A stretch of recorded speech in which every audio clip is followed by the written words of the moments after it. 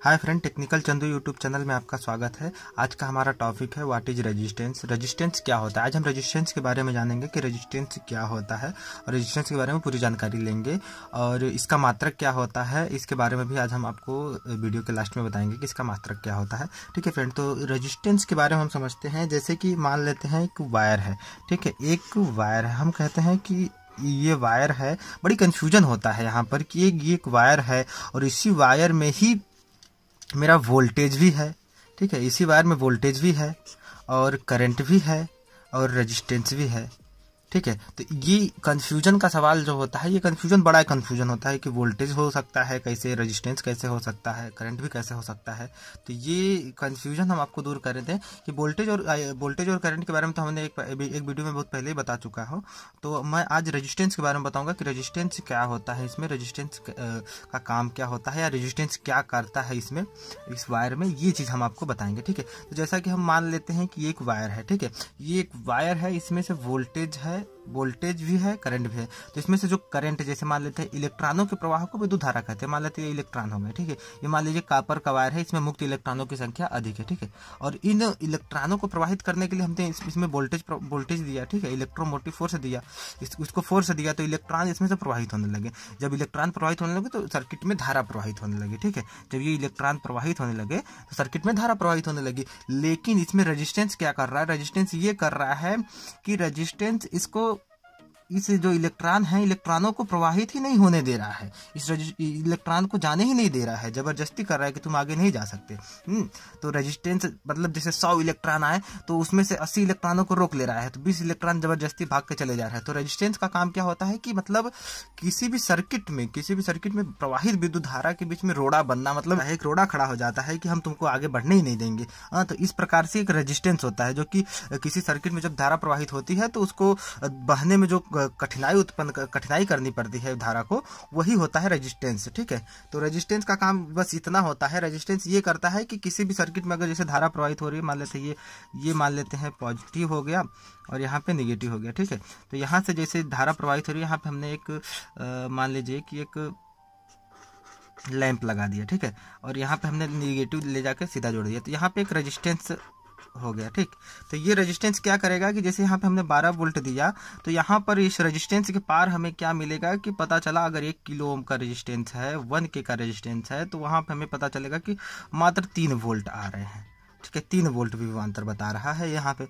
ठीक है तो इस प्रकार से ये क्या कर देता है कि वोल्टेज को ड्रॉप करता है। वोल्टेज को ड्रॉप कर देता है और करंट को भी कम कर देता है तो इस प्रकार से ये वो करता है। और रजिस्टेंस ये नहीं होता है कि नहीं रजिस्टेंस सिर्फ़ बाहर से ही जो अलग से हम लोग लगाते हैं, वही रजिस्टेंस होता है। रजिस्टेंस वायर का भी एक आंतरिक प्रतिरोध होता है। जैसे कि हम वायर को हम समझे कि वायर का रजिस्टेंस कैसे जैसे कि मान लीजिए ये रहा मेरा ट्रांसमिशन ट्रांसमिशन लाइन ठीक है? यहाँ से हमारा ट्रांसमिशन हो रहा है, ठीक है?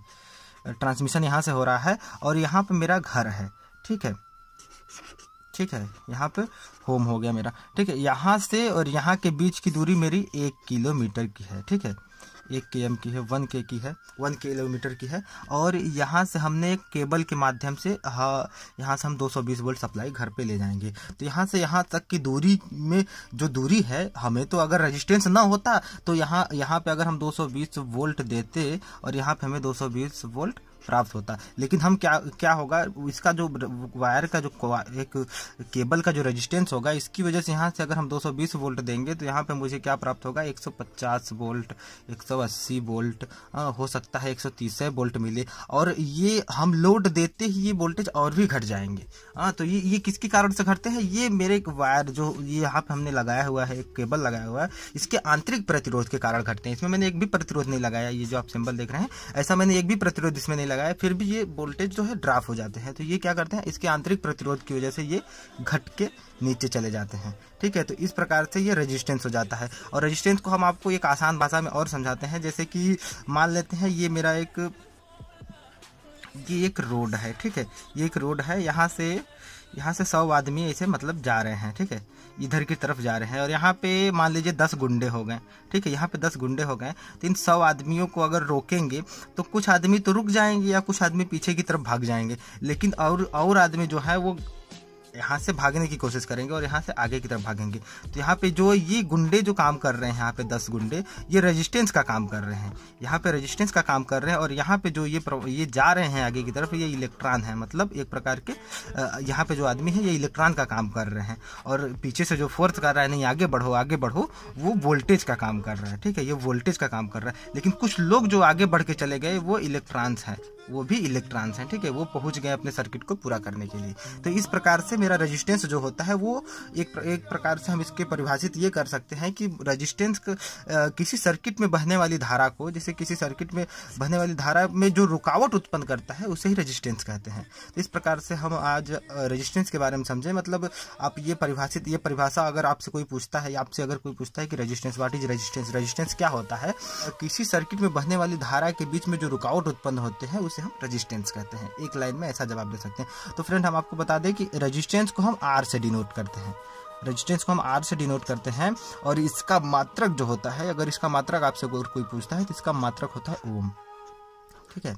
ये ओम। ओम इसका मात्रक होता है। अगर कोई पूछता है आपको तो ये ये बताइए। ठीक है? और ओम, और एक किलो ओम, और जैसे हम समझते हैं कि एक किलो ओम, एक किलो ओम हम बोल दें, एक किलो क्या होता है? तो एक किलो ओम क्या होता है? तो एक किलो जैसे एक ओम हो गया, एक ओम अलग हो गया, ठीक है? और एक एक ओम करके एक हज़ार ओम जब हो जाते हैं, जब यहाँ पे जैसे देख लेते हैं, एक हज़ार ओम जैसे हो गए तो एक हज़ार ओम जो होते हैं, उसको हम एक वन के मतलब एक किलो ओम बोलते हैं। और एक हज़ार एक हज़ार कि किलो, एक हज़ार किलो ओम जब हो जाता है, एक हज़ार किलो ओम तो वो एक एक मेगा ओम के बराबर होता है।